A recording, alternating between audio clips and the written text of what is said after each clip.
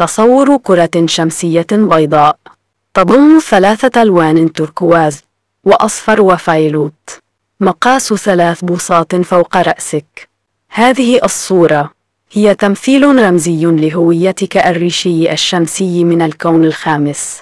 في الاستنشاق التالي تصور هذه الشمس البيضاء تتحرك لأسفل الجسم حتى يتمركز جسمك داخل هذه الشمس الكروية.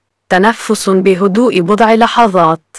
ومع كل شهيق من نور الشمس وزفير داخلك أشعر الطاقة تسري في جميع خلايا جسمك. وأن الخلايا بدأت تضيء بنور ضعيف أولاً ثم مع التكرار ستشع نورا لامعا. في الشهيق التالي اسحب هذه الطاقة من حولك. إلى نقطة من الضوء الأبيض النقي المتمركز في شقر الضفيرة الشمسية. ثم زفير إلى هذة النقطة البيضاء لتنفجر لنجوم صغيرة لامعة. تنتشر وتتوسع حولك. كرر هذا التنفس كذا مرة. شهيق أسحب الطاقة من هالتك. وجمعها في نقطة بشقر ثلاث. ثم زفير بقوة لتوسع مجال هالتك أوسع وأوسع. حتى تشعر أن عالمك بدأ يمتلئ بالنور. وأن الأرض تتشبع بالنور هي والنبات والحيوان وكل الكائنات والطاقات الغير متزنة بدأت تضيء بالنور.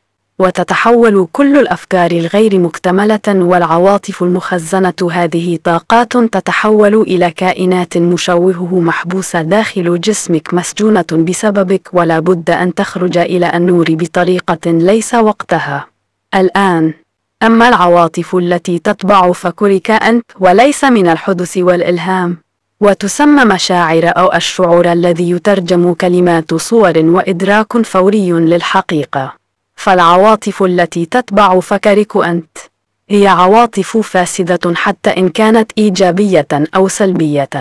فلا بد أن تنتظر وتسأل نفسك العليا. هل هذا الفكرة أفعلها أم لا؟ وساعتها ستجد الإجابة بالشعور الذي يترجم إلى كلمات أو صور أو إجابة مباشرة مثل انقباض بالقلب أو انبساط وراحة لفعلها. انتبه الآن، سنأخذ شهيق من شقر الأرض، تيار المهارة إلى شقر القلب، وفي نفس الوقت شهيق من أنوار شمس الريشي التي حولك، إلى شقر القلب، ليتجمعوا في صدرك. ثم مباشرة زفير بقوة داخل الجسم وإلى حولك. أعد هذا التمرين لتوسع مجال هالتك أوسع وأسع. في كل مرة ضع عونية جديدة في كل شهيق وأدفعها إلى المكان الذي تريده لتفعيل النية.